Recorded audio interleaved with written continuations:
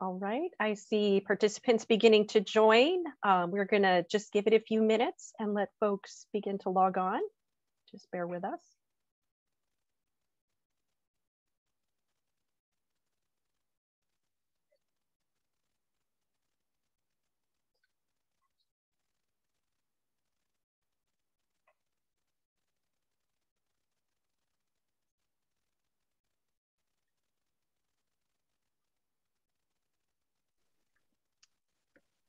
I have to shout out to Jane. Jane Lanek, you're on the call. How nice to see you.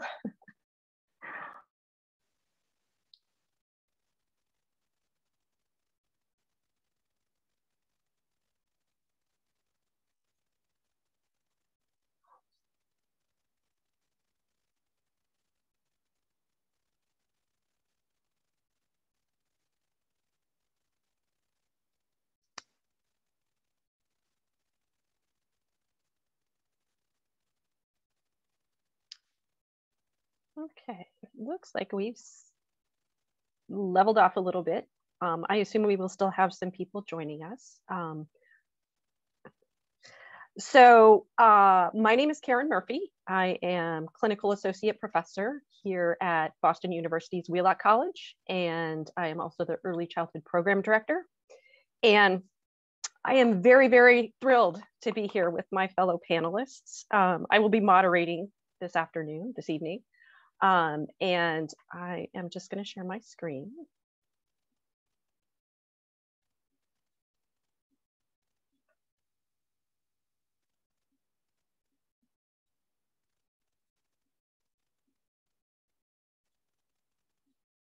All right. So we're here this evening um, to have a discussion, hopefully a lively discussion, um, about outdoor nature-based education for young children. And I am so happy to be joined by my colleagues. And um, I'm going to introduce them very briefly, uh, and they will say more about their background and about their work when it's their time to speak. So I'm thrilled to introduce Sarah Besse and Shela Sinelien, who are two of our BU Wheelock early childhood alums and are also co-founders of the Boston Outdoor Preschool Network with a colleague of theirs, Sarah Murray. Um, and they were additionally our 2021 BU Wheelock Young Alumni Awardees. So we're so happy that they're able to join us this evening and share the work that they're doing. We're also joined by Jeff Winokur, who is a science education consultant and a longtime colleague of mine at Wheelock, um, who has been um, working for a long time, additionally, with the Science Edu um, Educational Development Center and more recently with the City Sprouts program.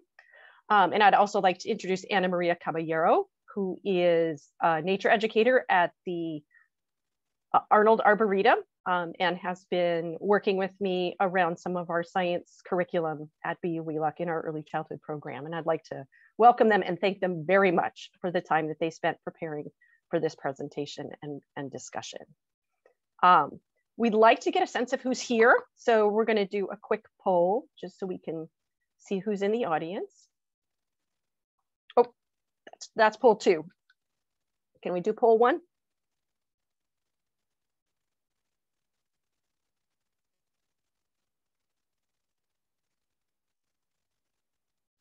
All right, we'll do this one.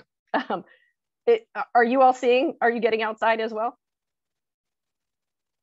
Okay, so go ahead and respond. And I think that the second poll will give us information about who's here. They're just a slightly different.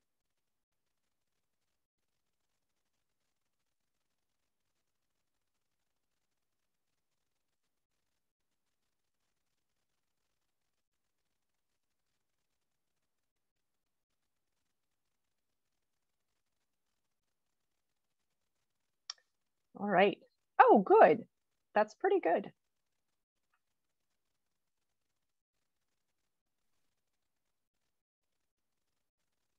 So I want to give you a little bit of information. Oh, so we've got the results. I want to give you a little bit of information about what the format is going to be this evening. So we have four questions that we use to organize um, our speaking. Uh, and the four questions are, uh, what are the benefits of outdoor nature-based educational experience, um, and specifically focusing on young children, but many of them apply to, to other age groups as well. Um, how does outdoor nature-based education support and extend learning that happens in other types of settings? What are important strategies and considerations for outdoor na nature educators or for others who want to engage children in this way? Um, and then how can families and educators expose young children to more outdoor nature-based experiences? Um, so the way it's gonna work is each speaker is gonna take the lead on one of the questions and they've prepared remarks um, and examples and other things to share with you. And then after each speaker finishes their prepared remarks, we'll go to the panel and see if any other panelists have additional comments, expansions, ideas that they would like to add to the previous speaker's um, presentation. You should feel free throughout to add any questions you have for the panelists in the Q&A. Um, if you have a question for a specific panelist, please indicate that in your question. Uh, we will, if, if, it's more general question, obviously feel free to add that as well. We will save questions until the end, and at which time we'll get to as many questions as we can, um, unless a question has already been addressed by a previous speaker. Um, you should also feel free in the chat to share any experiences, resources you would like to share with the group, um, or if you would like to just interact with one another. All right, so I would like to introduce Ana Maria Caballero, who's going to address our first question, which is what are the benefits of outdoor nature-based education? Ana Maria? Thank you, uh, Karen. And I'm going to stay on speaker view for a bit. Um, just to say something about myself, my name is Ana Maria Caballero, and I am the outdoor educator at the Arnold Arboretum.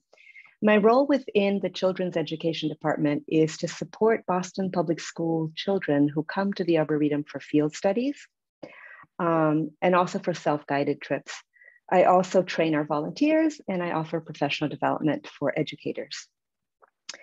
Um, and it was really exciting to see that in the poll, about 54% of you said that you come out, you know, you take your children out almost every day.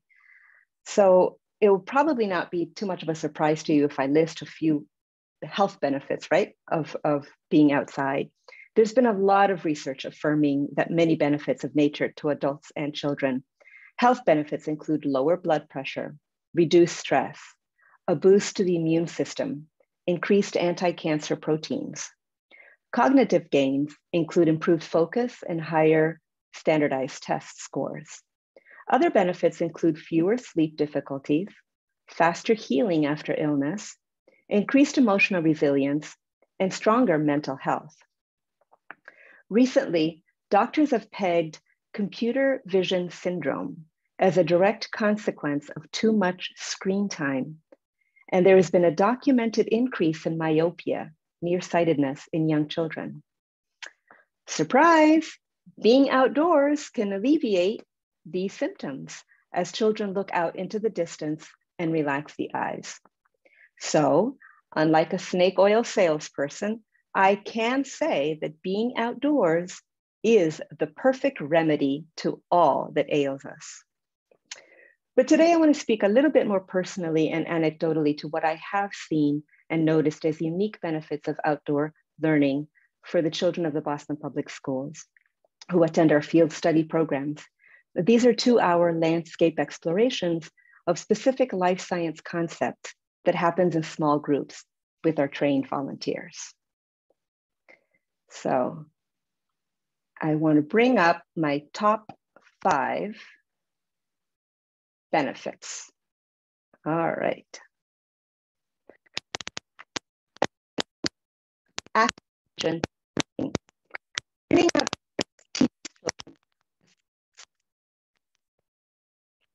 reinforces the cyclical nature of human space and children to experience words upon which later learning is built.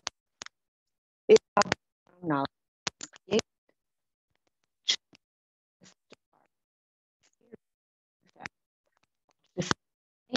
Follow the domination and some effects are apart stones. Ana Maria? Shadow. I'm sorry to interrupt you, but we can't hear your audio. It's cutting in and out.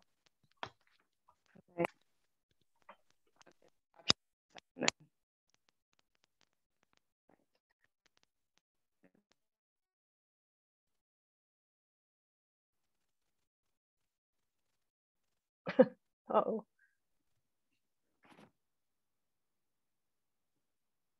Bear with us, we're having technical difficulty.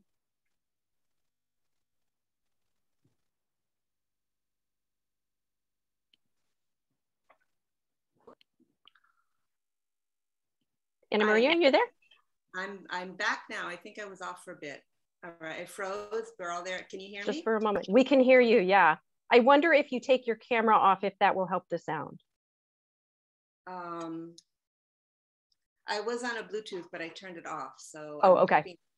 Now, okay. I think that may. Okay. Now, how much did you miss? I it, it started cutting out right away. So why don't you start from the top? Okay. All right. Oh my goodness.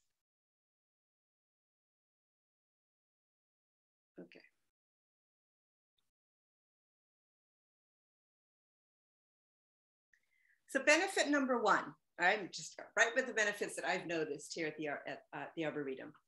Um, learning outdoors teaches children a sense of scale and perspective.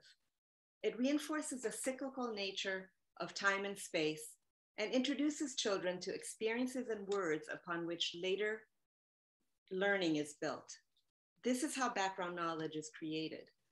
Children become the star when they experience the concept watch the seasons change, follow the germination and growth of a seedling, discover the effects of a rainstorm on the earth, break apart stones, climb the shadow of a tree limb, or come face to face with a snapping turtle for the first time. These experiences introduce vocabulary and demand that children narrate what they see, hear, and feel.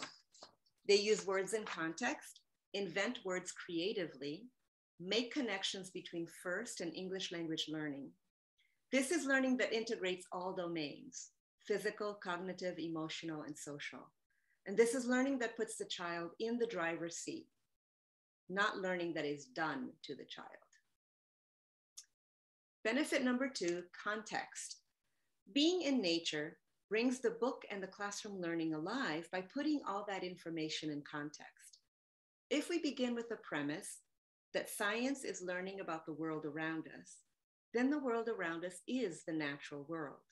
Vocabulary and concepts make more sense when children can touch, feel, see, hear, and explore these same words and concepts in real life, in context. It is here that we see that a frog does indeed eat a fish, or that a hawk does not always catch the snake, or that frog calls lead to mating.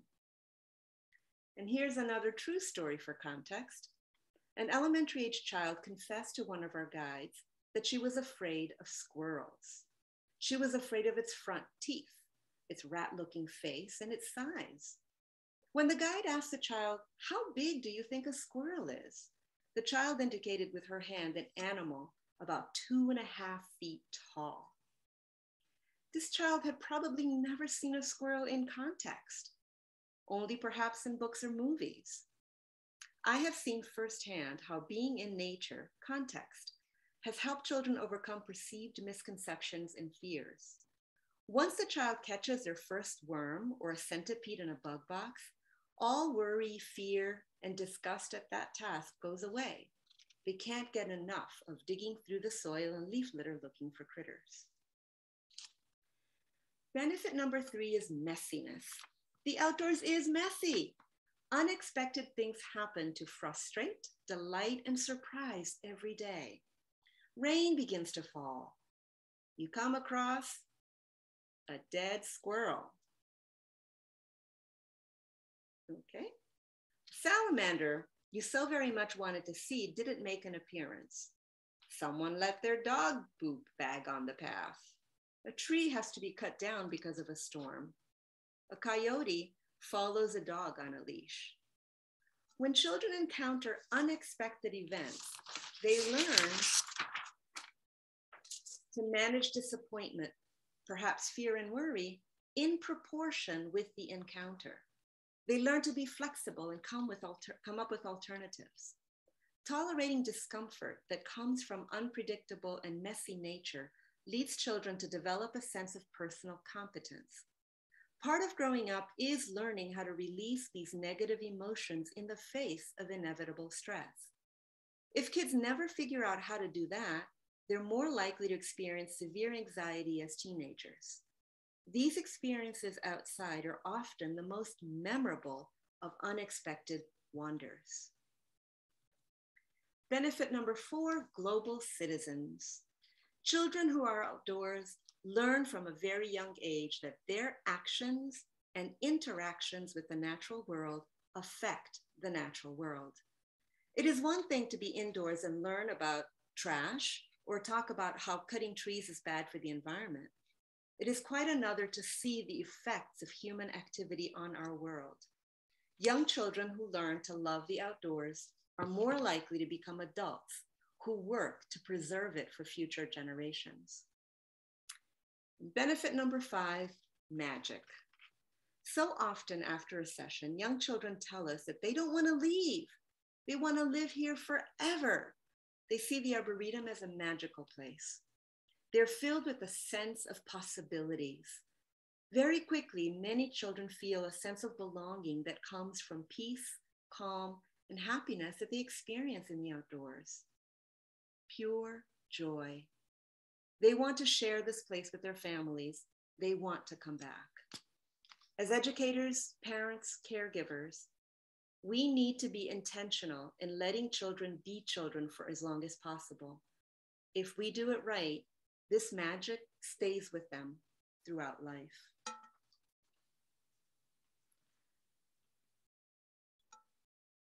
Beautiful, Ana Maria. Thank you so much. I really appreciate that you started with the health benefits, um, which really elevates that this is something that's good for all of us in so many, many ways and in such needed ways currently.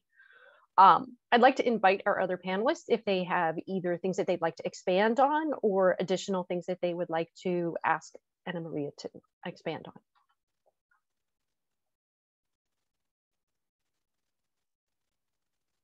Or comments they would like to add. I'll just comment. I, I love your last slide with the magic. Yeah. And and just that sense of possibility. I like the way you articulated. It's just a sense of anything's possible when you're out there in nature and it's calm and it's not busy, busy, busy like like the, the classroom is indoors. It's much calmer and more peaceful. And you can just you have the room and the space to to think. Um, and I love how you articulated that. Thank you. You know, and back to what you were saying, Karen. Um, I think that as adults, we understand the health benefits for us. Mm-hmm. But we don't necessarily imagine or think that children need it as much as we do, if not more than we do. You know, we're out there exercising and doing everything we can and being really good about being in nature. And we forget that children are also reaping the same benefits mm-hmm. for their little bodies. Yep. Great point. And I, I love the the, uh, the, unexpected, you know, the dead squirrel and the the poop bag, um, because that's real life. I mean, those things are real, and uh, I, I, it's very much appreciated. A lot of times, the classroom is orchestrated to avoid such things, and the outdoors not this not the same.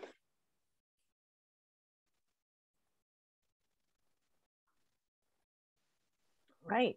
That actually is a pretty good segue um, so for our second question, um, Jeff has prepared some remarks about what are some of the ways that outdoor nature-based learning expands on learning that takes place in other types of contexts, in classrooms and in other types of educational settings, in museums. Um, so he is gonna share with us some of his insights about and examples of the ways in which this, um, this kind of learning actually supports, expands on, and um, complements other types of learning. Jeff?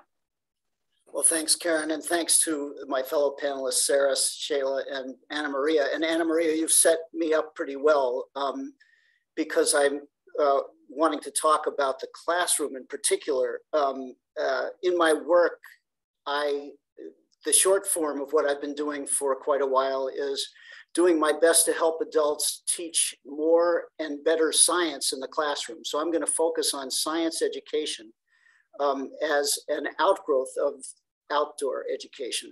Um, and the other, so he, I am really the least of the outdoor educators among this group here. Everybody else is a true outdoor educator. I use the outdoors as one venue for uh, science.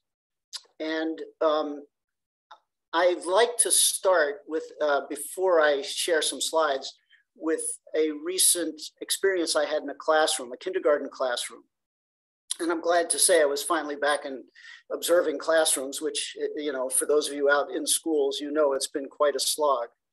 Um, it was a kindergarten classroom and they were reading the book Busy Spring and um, the, the book talks about how winter has been gray and cold, and now the garden is awakening in the spring.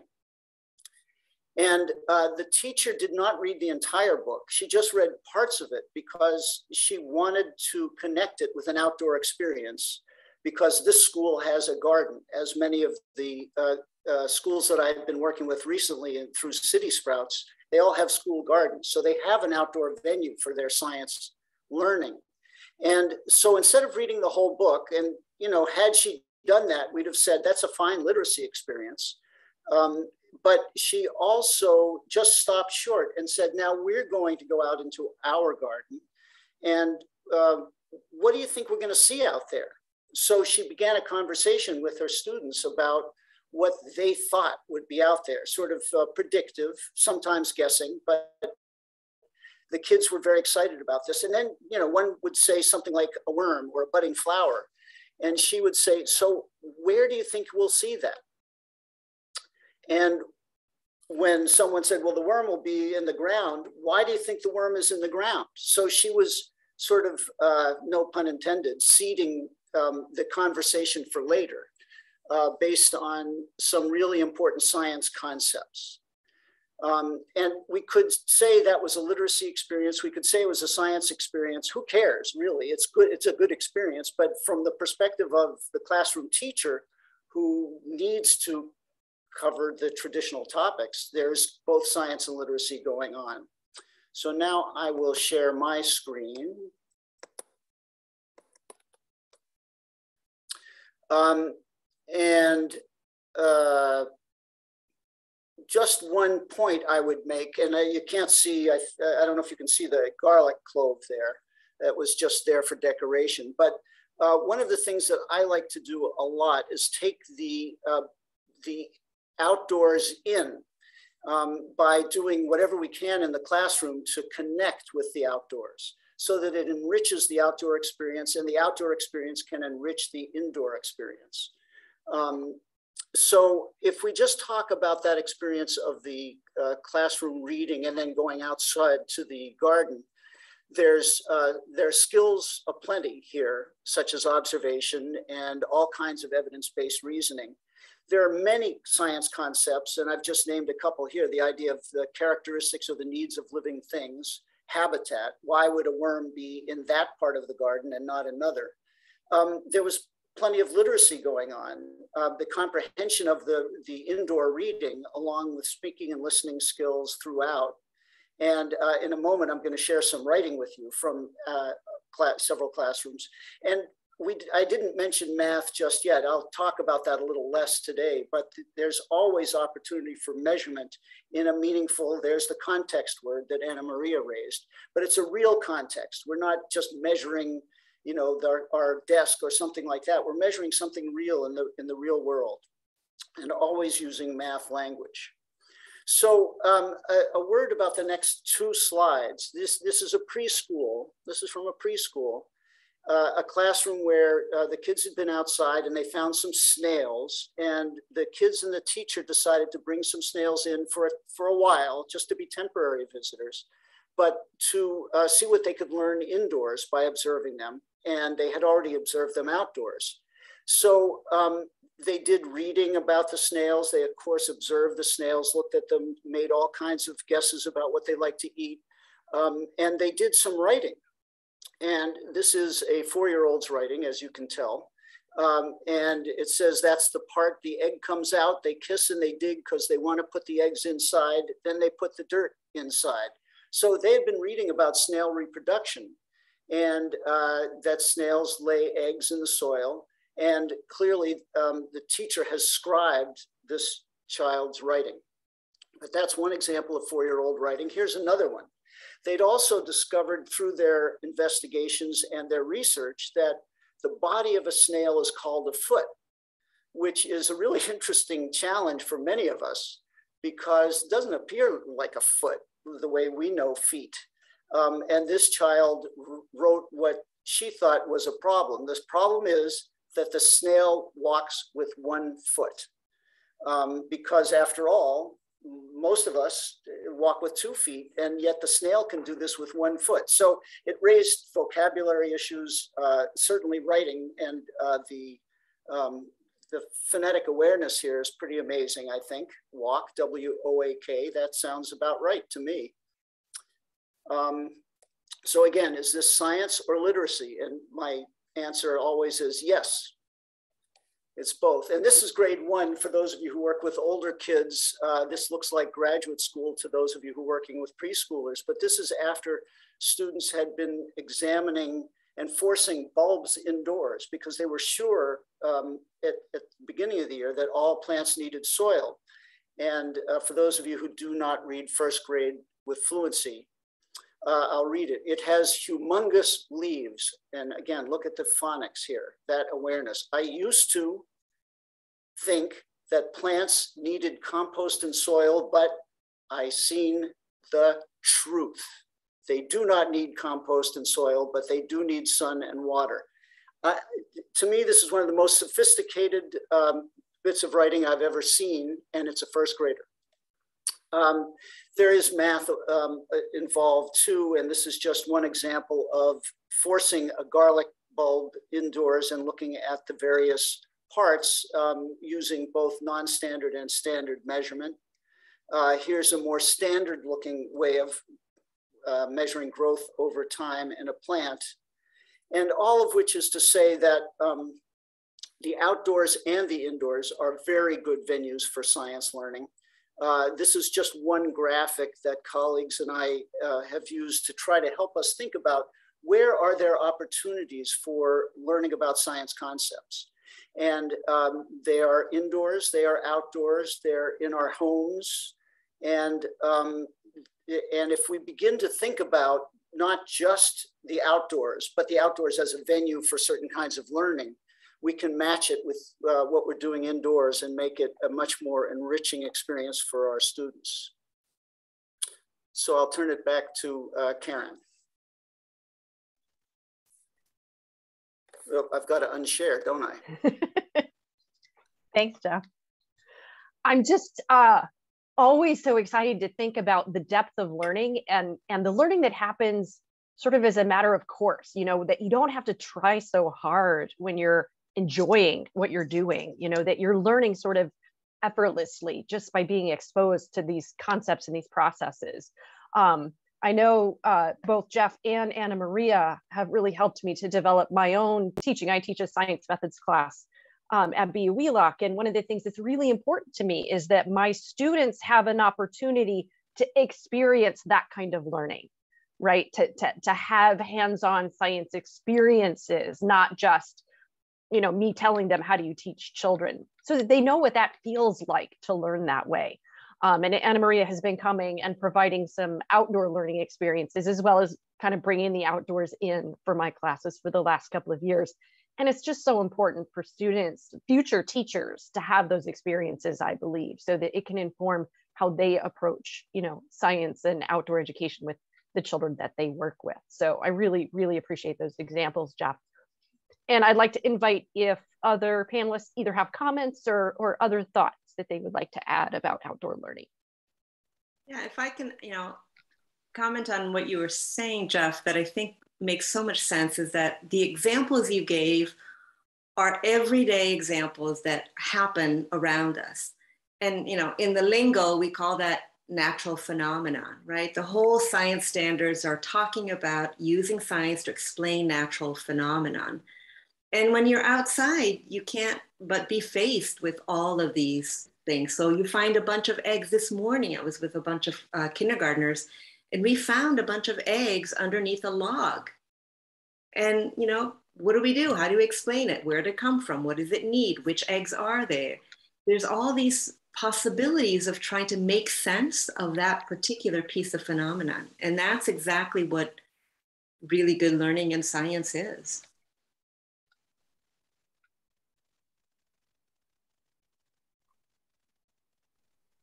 We ready to move on?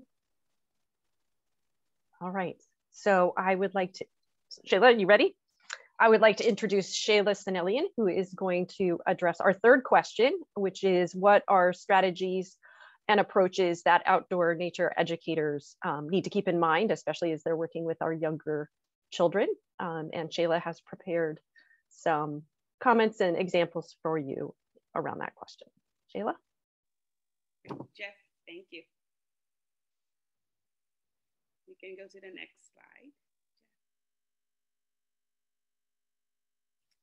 Okay, as you can see, my three words, passion for teaching, love for the outdoors, and perseverance. Passion for teaching. In order for a teacher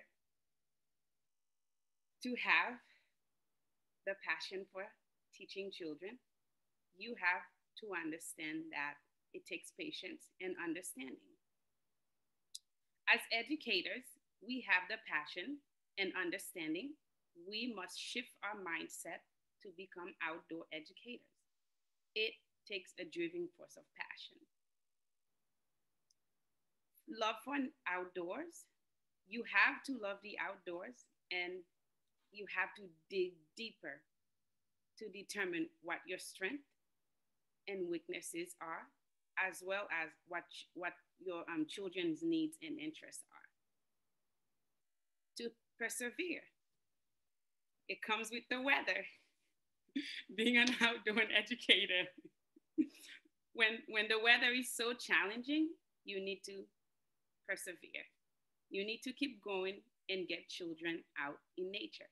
Even in a, you know, four degrees, 13 degrees weather, rainy, snowy, sunshine, we're out there. Um, so our perseverance leads us into not giving up our beliefs and also protecting children's outdoor time and teaching them endurance.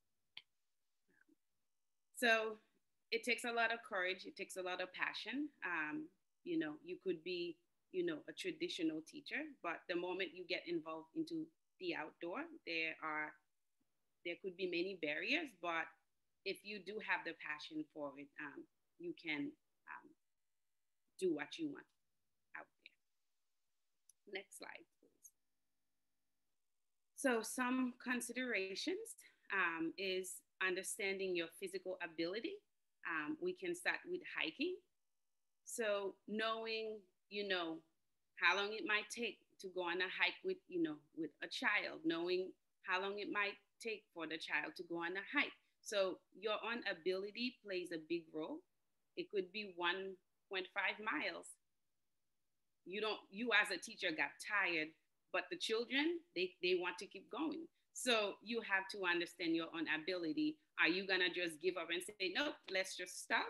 Or are you gonna keep going um, to help the child understand, although it seems far, but we got one more minute to go.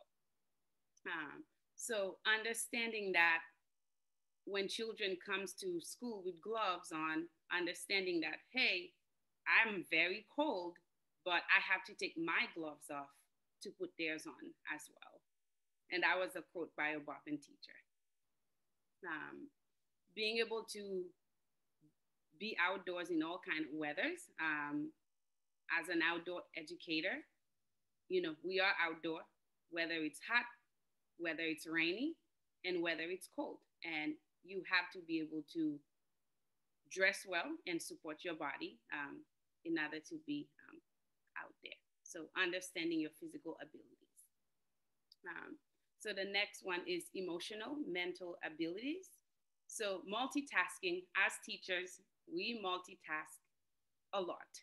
Um, so knowing how to cope with inclement weather in order to think quickly and clearly despite being uncomfortable and make decisions about how to comfort a child who is cold while making sure that the rest of the class um, is also safe. Sometimes you could have seven children who are, you know, saying, My hands are cold, my feet are cold, um, while you have another six playing. So how you how do you as a teacher comfort, you know, all these seven children? You could say, hey, let's all let's all dance around, let's all run, let's do, let's race each other just so you are keeping them safe, you are keeping their bodies um, moving. Um, and also you have um, to be able to think about the interests of the children and also introduce them to lessons in nature um, that involves math and literacy. Personal growth, Edu educating um, children about nature requires, you know, teaching skills and also the outdoor knowledge. Um, you could be a teacher, but when it comes to the outdoor, you really don't, you might not know all the names to a plant. Um, you might not, you know, know whether this is a rabbit poop or this is a squirrel poop, but you can ask the children, oh, you know, what do you think this is? They might have hypotheses, but together, although you don't know the answer, you can go and you can search it, you can get books, and together you can also figure out um, the answer to that question. So it means that most people will have strength in either of those areas, whether you have the skill to teach, um, whether you have the knowledge, um, you know, for outdoor. You must be able um, to open to learning and growing on a personal level to bring the best to the children. So we all make mistakes, we all make we all um, make errors, but together with the children, we can learn. Um, so parent communication, uh, yeah, yeah. Parent communication is a big, big, big, um, it's a big thing. So regular educators could just, hey, you know, your child had a great day, you know, you know, he did this, he did that, but being an outdoor educator, you have to make sure you say, hey, your child's clothes was wet today, um, your child's boots got soaked, I think I have a website for you to go to. Maybe you could check this um, different brand. You have to consistently communicate with the parents because the children are in your care. Um, you have to make sure when they come from outside, it's a very heavy um, rainy day that they do have the proper gear um, to wear. So communication comes a, a very, very um, long way. Um, so at Boppin, we do have loaning gears and we do have extra clothes that um, we have in hand for the children to use. Next slide, please. Thank you. Um, strategies to connect children with nature. There are three types of learning related to nature. So there's learning in nature, which is taking a traditional classroom lesson outside. Um, there's learning about nature, Today, it's an example. Today, we will learn about the parts of, of the corn, their form and their function. And then we have learning with nature, on a plan for learning based on what nature presents and what children show in interest. Um, you can go to the next slide um, for me, Jeff. So we have over here some of um, the children in our program. So these are, you know, lessons that you could have just sit in a traditional classroom that you do, but we do them outside. Um, some children are working on their letters, some children are working on math, and we have a child who was just counting all the pine cones that um, she found. You can go to the next slide for me. So learning about nature. Again, a quote, today we will learn about the parts of a corn or the life cycle of plants. So we have, these are little toddlers, um, it was actually on a four degree weather day. Um, they found some corns outside. Um, they came, they brought it inside, and you know they were investigating. We have some of the um, some of the children who are um, learning about parts of a plant. They're they're learning the life cycle of a plant, and, and also they're reading books about it. Jeff, you can go to the next. Learning with nature. So these are all the wonderful, amazing things that you can find in nature. Sometimes you can find an owl pellet, sometimes it's a worm, sometimes it's it's hey, here's a river, hey, here's a puddle of water, let's jump, let's run. Um, here's sticks, let's build a fort. So these are just unplanned things that you find in nature that you would not find in a traditional classroom. Jeff, you can go to the next slide.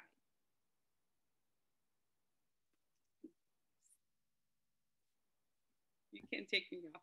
Thank you. Thanks, Shela. I love the examples. Um, and I think that learning with nature is the one that I imagine that people who are not familiar with outdoor nature-based education are least familiar with is just going outside and seeing what the experience brings to you and being open to that. Um, I know a lot of educators I work with don't really like the uncertainty of that. You know, they want to be able to predict, you know, they want to be able to say, this is what we're learning about today, and this is how we're going to do that. And so I think for some educators, that you know is is that personal growth is getting more comfortable with that and and sort of the unexpected and the the emergent or spontaneous learning experiences that children are able to have when they're when they're outdoors experiencing you know unexpected encounters or phenomenon so i really appreciate shela you including that and the personal growth aspect of it because as a as a teacher educator i think that that's something that many teachers struggle with a little bit other comments or thoughts about Shela's? Well, I, am struck by uh, the need for, for gear, the need for preparing to go outside in the coldest and most foul weather. And uh, just, um, I, I'm just assuming that the, the parents, the families are know what they're getting into um, so it's sort of a self-selected crowd, but it would be great to see more of that because there's so often, you know, when I'm dealing with classrooms where people don't want to go out because it's cold, and by cold, cold they don't mean the cold you're talking about. They mean, you know, a little, little uncomfortable. So I, I'm really struck by how important it is that parent communication piece that you spoke about, Shela. Mm-hmm. And I know that Sarah's going to talk some more about gear later. Go ahead, Shela. Sorry. No, it is. It takes a you know a lot of communication, especially around you know the gears. Um, but Sarah will get into more details about about that. Before right. you go on, I think um, I do want to go back to Shela. You saw this whole idea of learning with nature is so cool because I'm thinking of a book that I recommended at the end of the presentation by Rachel Carson. You know, it's a, it's a 1965 published book, A Sense of Wonder. Mm-hmm. And children can be in nature and they can be learning with nature, but they do need this caring adult that is going to help interface their experiences with them.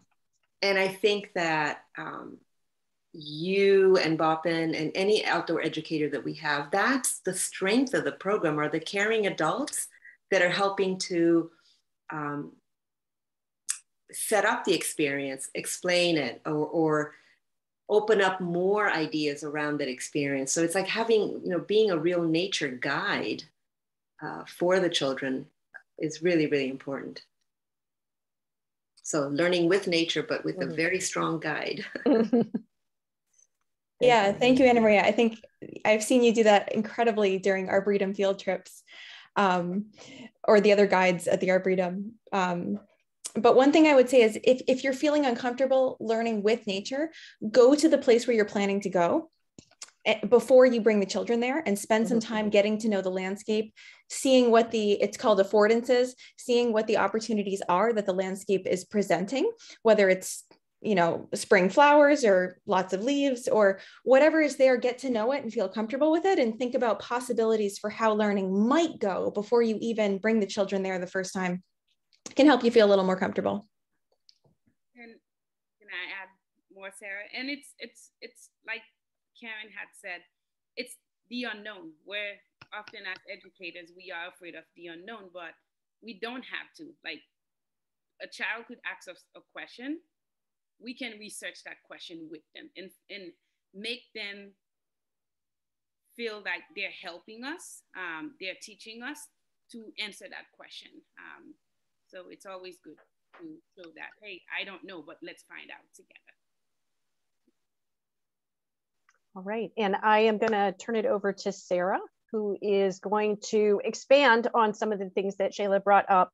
Um, and in particular, you know, provide some some guidance, some strategies that educators and also families who want to include more outdoor nature-based education in the, the children that they care for in their lives. So some specific suggestions she has for how one might begin to do more of that. Sarah? Yeah, perfect. Um, thanks. You can go on to the next slide. Great. So I'm just going to talk first about how to dress children for the outdoor learning in all, all different types of weather conditions. And then after that, I'll talk about how to keep children safe. And you're welcome to follow up with me afterwards if you have any additional questions. So yep, just keep going. Next slide. Um, so if you notice that the on the left, I'm uh, I pulled out a waterproof book and this was not actually circle time. This is all the children coming over because they were shocked by the concept of a waterproof book and had never, were very interested in learning more about that. so there they all are. As you can see, they all have hoods on because it's a pretty cold, rainy day. Um, on the right, you're gonna notice this boy, Nico. He has a hat and then an insulated layer and then a raincoat on top of that. So his raincoat has to be big enough to fit over his winter jacket. So when you're buying rain gear, try to buy the rain suit the next size up so it fits over your child's insulated jacket and insulated pants. Okay, next, next slide. Uh, so on the left, you're going to see two boys um, in rain suits. One of them, I think, is Oakiwear, and I think the one on the right is Muddy Buddy. So Oakiwear and Muddy Buddy are two of the brands that uh, produce low-cost, full-body rain suits full body has pros and cons. We can get into that later. Oh, and on the right is our other co-founder, Sarah Murray. And the girl next to her is um, very prepared for the rain. you can keep going. Next slide. Snowy days is just, people tend to be a little more familiar with how to dress for snowy days. It's just, you know, snow pants. Um, I would recommend uh, mittens instead of gloves because mittens have the fingers together. So they keep the child's hands a little bit warmer.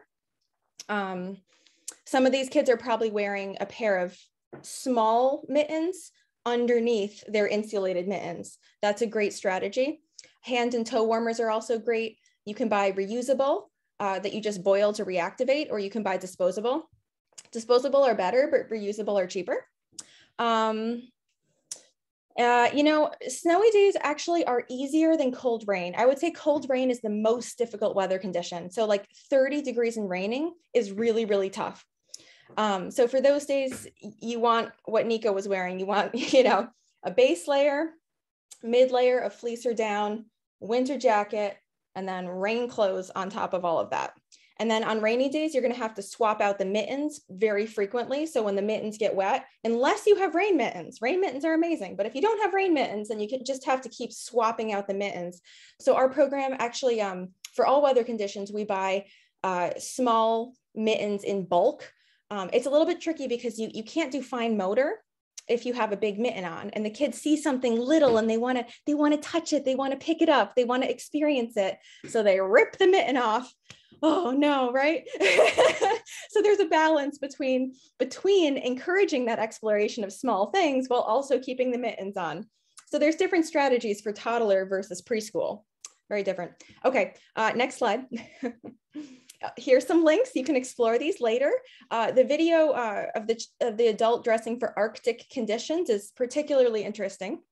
Um, keep, we can keep going here. Next slide. Uh, when you're talking to kids about challenging weather, we never say, oh, this is a bad weather day. It's not bad, it's just challenging. It's a lot. um, and when as a teacher, you really have to be thinking, is the child that I have in front of me, are they uncomfortable or are they unsafe? There's a really big difference. And I think in our culture, there's become a little bit of confusion around that. But we have to clarify, is, is the child uncomfortable or are they unsafe? If they're unsafe, then we need to take immediate action. If they're uncomfortable, then we can have lots of strategies like our, I would say our number one strategy is running around. Um, like for example, if a child sits down and eats snack for five minutes and they look like they're getting a little cold, try to pack away the snack and get them moving. They can always have a little more snack later, um, but one thing at the beginning of our program when we first started was that some some snacks would be really large and then the kids would be sitting for too long on cold days. So you really just want to have a small snack. Uh, we call it a pocket snack. So maybe a bar or some carrot sticks that fit inside the pocket. You can just whip them out, eat it with your mitten on. You don't even have to take your mitten off for like a carrot stick, for example, and then just keep moving. Um, yeah, yeah, we can keep going here. Ah, so risks versus hazards. Now we're going to talk about safety. So we just covered clothing. Now we're on to safety. Um, so a risk is something that the children can recognize and choose to take on. For example, they see a big log, they decide to climb up on it and they try to balance on it. That's a risk. A hazard is something that the kid doesn't know about, that they're unaware of. So for example, a cliff would be a hazard if the kid didn't know it was there. Um, so, uh, you know, as when we're thinking about outdoor education, we have to we, we do have risky play. Kids do climb onto logs, they balance on logs. We're not always on stable, even ground. We're on slippery surfaces. Um, that's a risk. Um, but a hazard is something you that the, the teacher's job is to protect children from hazards while providing an environment where children can take risks. Next slide. Ah, this is a very long one, so I'll just cover a few things. Um, you really, really, really want to prevent lost children. Luckily, we've never had a lost child, but that's really important because you don't have walls outdoors. So you really have to count them very frequently. And you know who your runners are. So you have your runners, but you also have your sneakers. There are some kids who will kind of hide or they'll they'll try to quietly drift away. You have to have, you know, everybody knows who those kids are um, and you need to really keep an eye on them just to make sure that you need to come back with the exact same number of kids that you went out with. That is so important. So, thinking about pickup in particular, you want to think about your pickup routine. If you're doing pickup outdoors or drop off or any other transition you want to have one person as a lifeguard. So the job of the lifeguard, and you could even make a necklace or a badge or something that says lifeguard. the job of the lifeguard is to make sure that everybody is safe. So the lifeguard isn't narrowly focused on one child, they're looking at the whole class as a whole to make sure that everybody is safe. So one person always, at least one person, always has to be on that lifeguard duty. Um, the other thing to keep, keep in mind is just be really careful near vehicles and near water. Those are two, those are two things. Um, so we can keep going. Uh, yeah, so we use orange cones to provide boundaries. You can also use natural boundaries. This is just what happens to work for us. Next slide. Uh, so, okay, so this teacher knows these kids and they've been in her class for a long time and she's good with classroom management. So she's allowing them to pick up snow and throw it into the brook. But if this were the first month of school, you wouldn't see that happening. so she also has other teachers who aren't in the photo. Um, so she also has two other teachers with her as well. Um, so just, you know, the relationships and classroom management are there before you take on these riskier activities. Um, next slide. Oh, and this is just a boy who finally was able to climb up onto the big log and walk across it. It was a fun day. All right, next slide. Um, so we welcome you to come visit us. We, we are host many visitors, mostly educators from other programs or parents who are interested. Um, so feel free to email us if you just like additional information or just to come and visit and see our program outdoors in action.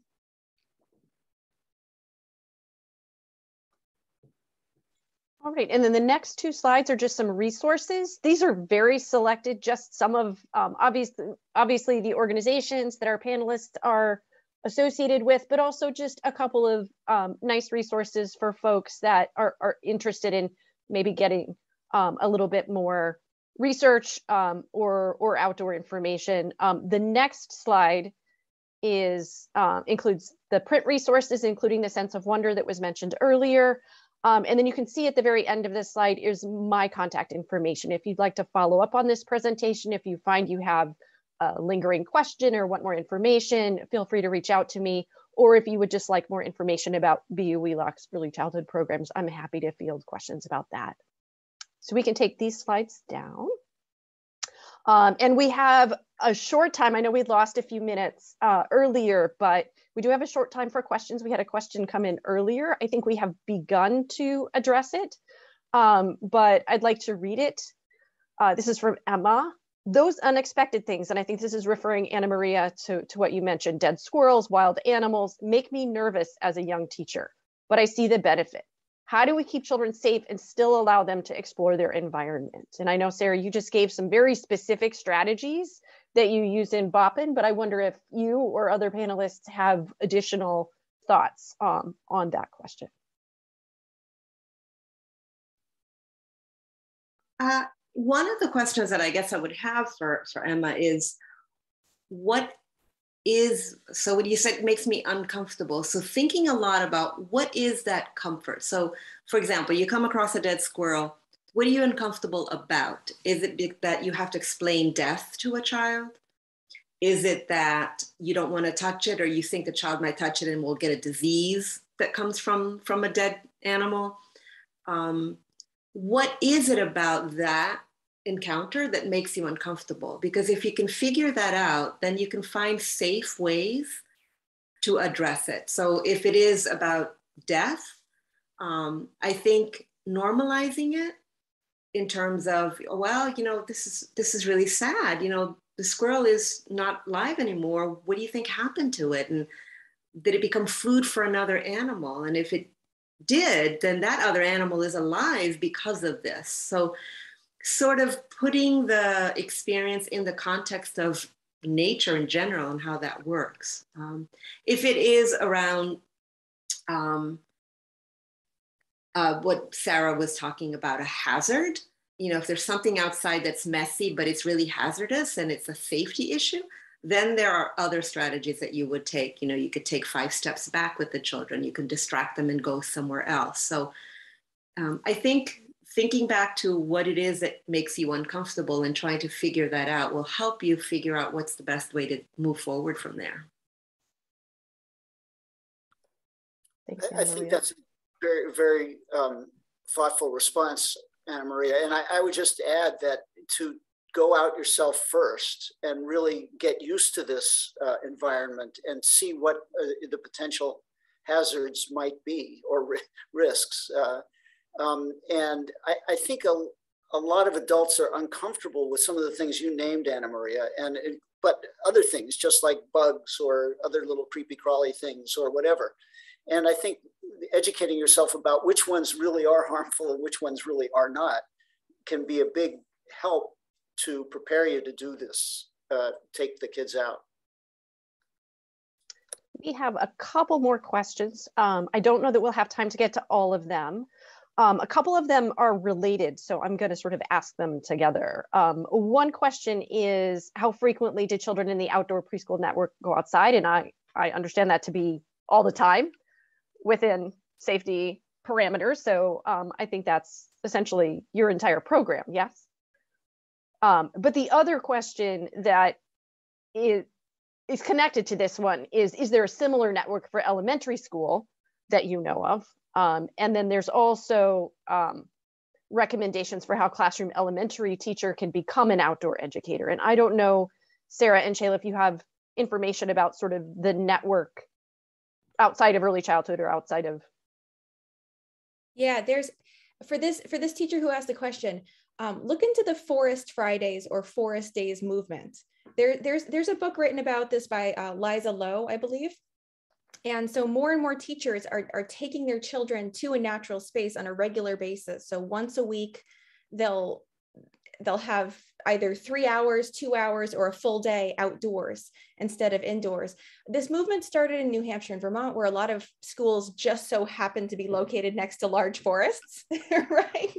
But people like us, we're trying to figure out how to bring this into um, urban areas so that um, you know there's a there's a set schedule of once a week heading outdoors rain or shine uh, part of that involves a lot of logistics management so you can feel free to reach out to us um, we're happy to help with that piece uh, the other piece is gear just having a huge gear library and then somewhere to hang up all the rain suits when they're dry um, so if you can overcome some of the gear barriers and logistical barriers a lot of schools are doing forest fridays and have had great experiences with that all right, we are at time. Um, there are a couple, so there was a comment made in the Q&A that I'm just adding to the chat. Um, and the other two questions that we haven't had time to really address has to do with doing this kind of education in schools um, and sort of the logistical and um, I think administrative and uh, other types of barriers within a kind of a more formal school environment. And I don't know, Jeff, if you want to talk a little bit about what are some of the ways that City Sprouts is trying to address that within that sort of that public school parameter. And I know Ana Maria, you also work with public schools that do programming at at the Arboretum. Well, I mean, it is a tough sell, um, but I, I think that the best way to address this is to know the standards, know the curriculum, and know what you can do uh, outdoors and how it can connect. And that's what we are trying to do in City Sprouts. That is to not only get people outdoors into the garden because of all the wonderful benefits that uh, the other panelists have mentioned, but also because there's potential for real science learning. Mm-hmm. Um, but you have to know what that is. And unless you do, um, it's really hard. It's a hard sell because after all, the administrators in schools are responsible for the tests and you know i say it like that but it's you know these are realities that we need to address and i think we i think both are possible but we have to be knowledgeable in how to address that so what we try to do is help teachers know what the standards are and where those standards can be met out of the classroom as well as in Ana Maria, last words on public schools and nature-based education? I think, um, you know, I, I, agree. It is always a challenge. And I, I, do several programs for professional development where teachers totally buy into what we're selling, you know, but then they hit that wall. Mm-hmm. How do I do that in the classroom? And the reality of a classroom is different, right? You have these schedules, you have other pieces that get into play. Um, but to the extent that you can look at what you can control as a teacher, what, what part of the day do you really control? Can they read their book outside? You know, sometimes it's a matter of just that. You have to do literacy, you have to read, you do squirt once a week, you know, whatever the acronym these days is for reading it uh, out together. Do it outdoors. Uh, you want to do a poetry unit? Do your poetry outside. So look at the pieces of your day that you can control and which ones of those can you start doing it outdoors that sort of would be the what i think um, shela said teaching in nature first and maybe you can slowly work your way towards teaching in and then with. Lovely. Thank you all so much. We're we're a little past time so we're going to have to wrap it up. Um, i really want to thank all of you for the very thoughtful preparation and comments and and sharing your work with all of us. Um, and I also really want to thank the participants for the thoughtful questions and, and for being here. Um, as you probably can tell, we, we all feel very strongly about the value um, of this kind of learning. And so we're, we're thrilled to see so many people here to, to learn more about it. Thank you so much.